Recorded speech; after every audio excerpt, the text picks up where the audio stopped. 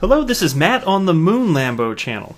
We have a Ripple executive who I cite fairly frequently on this channel stating that XRP is indeed replacing the outdated cross border payments infrastructure. Now, the way this title, the, the title of this article reads is Ripple says XRP based on demand liquidity actively replacing outdated cross border payments infrastructure. Now, uh, XRapid used to be the name for uh, what is now known as on-demand liquidity. I'm going to keep citing that. I'm sure that uh, sure that many of you listening to me on a fairly regular basis are aware of that already, but not everybody knows yet. So for a while, yet still, I'm going to keep uh, mentioning that with a certain amount of regularity.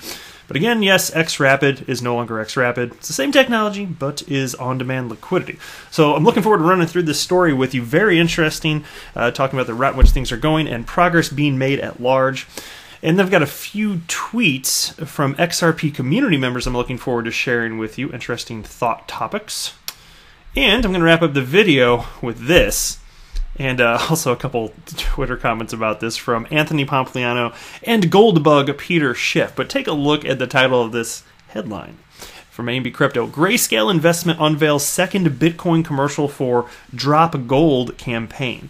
Now, the first commercial, which I thought was kind of funny, I have uh, covered on this channel, and so this is basically part two, and it, it does look a little bit different. Not, it's okay, you know, it's not quite as snazzy as the first one, but it's it's fine.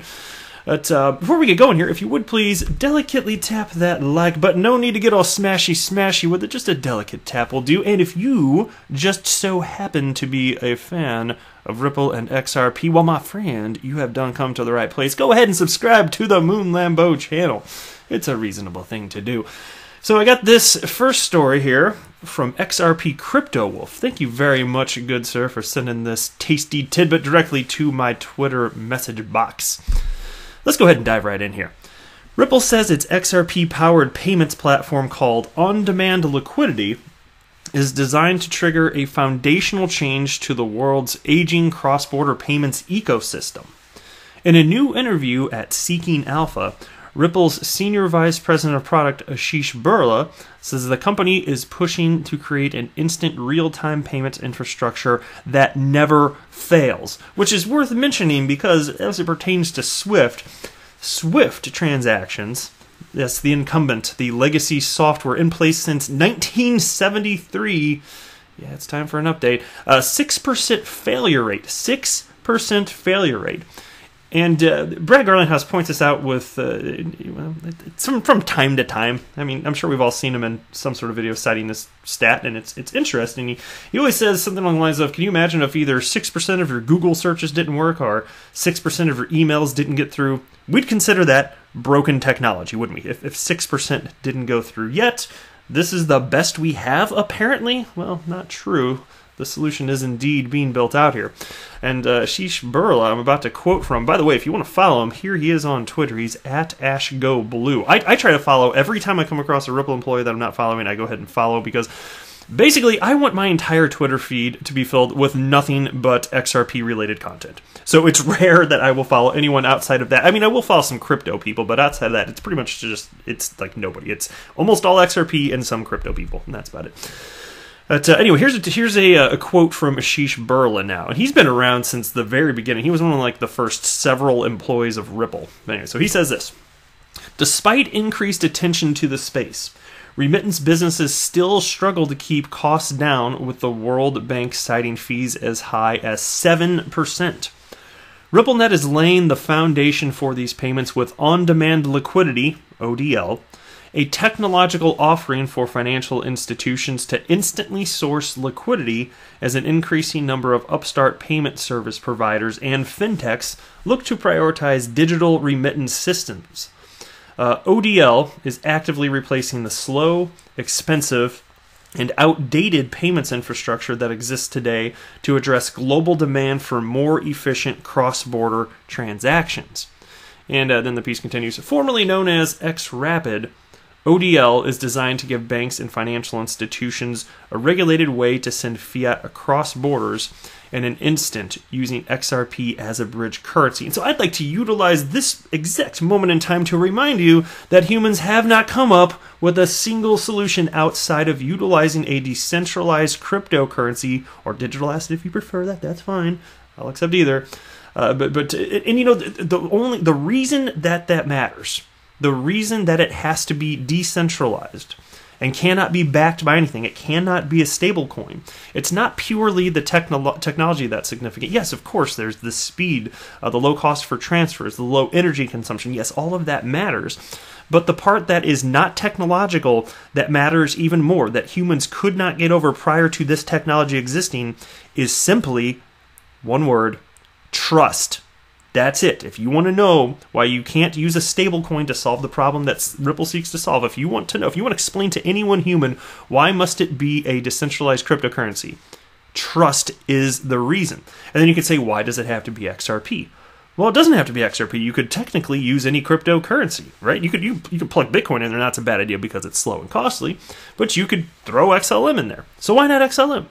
Well, you have to understand that when it comes to development of, of um, new marketplaces, right? When it comes to development of just a new way of moving money around the world, specifically, if you're talking about utilizing a cryptocurrency as a bridge currency, different actors in, in the space will have different incentives. Ripple is highly incentivized to build this out utilizing, yes, a technology that can sufficiently fill the role, uh, but they're doing it with XRP because they're incentivized to do so. That's a good thing. They hold a ton of XRP. So it could have been any other one, but it's not.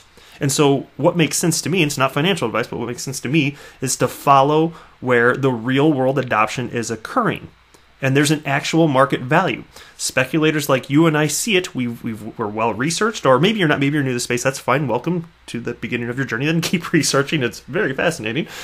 But uh, th- there's a reason that people are here to stay. There's a reason this asset class is here to stay. And there's a reason, I believe, and again, not financial advice, because I don't know for sure technically where this is going, but there's a reason that I believe firmly that there are cryptocurrencies, individual cryptocurrencies that will be valued in the trillions in terms of market cap in the future. And there's a reason that I believe, based on all knowledge available today, that XRP will be one of them. Then piece continues Ripple has officially opened two destination corridors for ODL one in Mexico and the other in the Philippines. The San Francisco startup says it's pushing to launch additional corridors by working with regulators and searching for new market makers. And I was talking about that the other day too, which is highly fascinating. Uh, there was a, a, Ripple commercial. In case you've missed it, I'm not going to get into the content of the commercial, but uh, there were two fiat currencies shown in that. It was the Japanese yen and uh, and the Thai baht.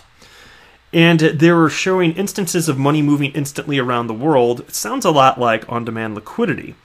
And they had a bunch of silly examples in the commercial, like just actors playing out roles which would never really happen, including an astronaut in space sending money to people down below, like, okay, stuff like that. But, uh, but, but the point is, it was moving money instantly.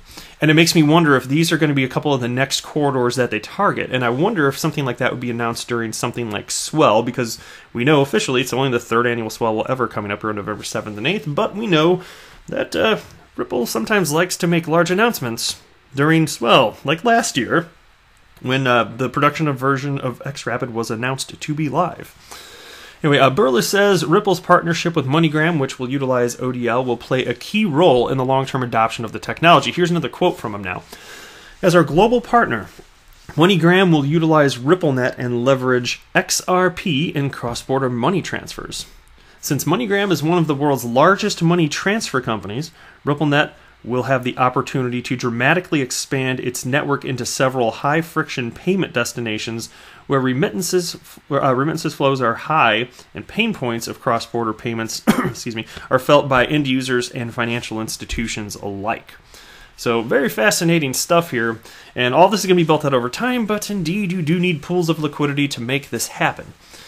Uh, let me go ahead and hop into a tweet here now from all the way 08, which I liked. And so there's actually originally a tweet from Neil deGrasse Tyson, a very famous astrophysicist, and I'm sure many of you are familiar with him. He's an interesting guy to listen to. Seems like he's got a fun personality. Anyway, he tweeted this out. To argue with a person who has renounced the use of reason is like administering medicine to the dead. And so all the way 08 retweeted that with this comment, which I like, put it, you know, put it in the context of crypto. Yes, like arguing with the Bitcoin master race, it feels pointless at times. And indeed, I can who cannot sympathize with that, right? If you're in the XRP community, we've all encountered our fair share of Bitcoin maximalists. Whether or not we engage with them, we've encountered them. We've seen them. They're tweeting out there. They're real humans in the world. Some of them vote. That's scary. All right, next tweet here. This is from XRP Neo.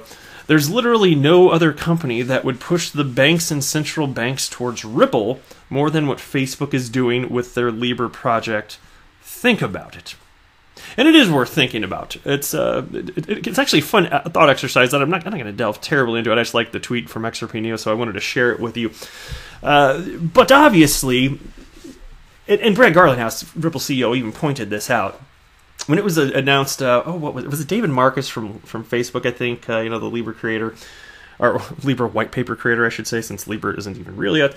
I think it was he that said that uh, you know this is gonna. I'm sort of paraphrasing here, but like uh, render Western Union obsolete, essentially what they're doing. And so Brad Garlinghouse cited what they're doing as a, a call to action here. And uh, and indeed, you know, as it, as far as uh, from Ripple's perspective, and that's why I think this is a pretty reasonable point to make from XRP Neo. Uh, Ripple cited that you know upon that uh, announcement of the wheat, the the uh, Libra white paper, they started just Ripple just started closing a ton of business. Like potential customers that were on the fence, are we going to do this? Are we not? They finally pulled the trigger. It was a call to action. It, it indeed was, and it also added credibility to the space. So there's a, there's a couple things going on there.